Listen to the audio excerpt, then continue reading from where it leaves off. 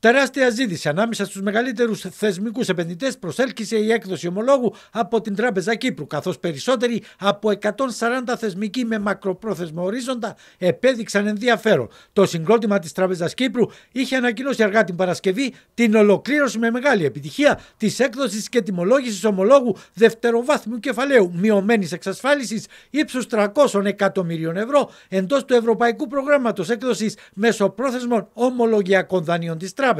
Σύμφωνα με την ανακοίνωση, η έκδοση είχε σημαντική ζήτηση και το τελικό βιβλίο προσφορών υπερκαλύφθηκε κατά σχεδόν τέσσερις φορές, με την τελική τιμολόγηση να είναι κατά 37,5 μονάδες βάσης χαμηλότερη από την αρχική ένδειξη τιμολόγησης στο 6,625%. Σύμφωνα με την τράπεζα, αυτό μεταφράζεται σε σημαντική μείωση του κόστους κατά αρκετά εκατομμύρια ευρώ και είναι κατά 2,25% χαμηλότερη από την προηγούμενη έκδοση. Ενώ η τράπεζα ζήτησε 250 εκατομμύρια, οι προσφορές έφτασαν το 1 δισεκατομμύριο 150 εκατομμύρια. Με την συναλλαγή να κλείνει στα 300 εκατομμύρια ευρώ, που είναι και το μέγιστο που επιτρέπεται με βάση τους σχετικούς κανόνες. Η τράπεζα τονίζει ότι το ενδιαφέρον επιδείχθηκε από φαντς που δεν επιδίδονται σε ταχεία μεταπόληση για κέρδος. Τα χαρακτηριστικά των επενδυτών, επομένως, δεικνύουν πως ψηφίζουν εμπιστοσύνη στην τράπεζα και στην Κύπρο. Πρόκειται για σοβαρή ψήφο εμπιστοσύνης στην κυπριακή οικονομία σε επίσημα της πανδημίας